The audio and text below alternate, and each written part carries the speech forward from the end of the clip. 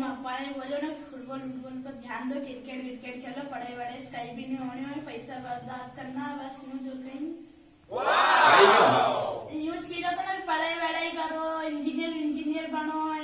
फालतू में खेलने वेलने से भी नहीं होने है डिग्री विग्री लो कॉलेज वॉलेज में अच्छा कॉलेज में एडमिशन मिल लो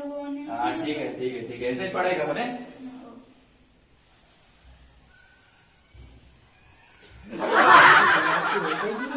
अरे बेला वाली बात पे ध्यान मत दे दे अब तो पढ़ाई वढ़ाई कर दे अच्छा और कोई के बात मत बता दे। चल ठीक है फिर जमाने में। पर बता दे मत हो चल जमाने हमारी वीडियो अच्छी लगी तो लाइक एंड सब्सक्राइब ज़रूर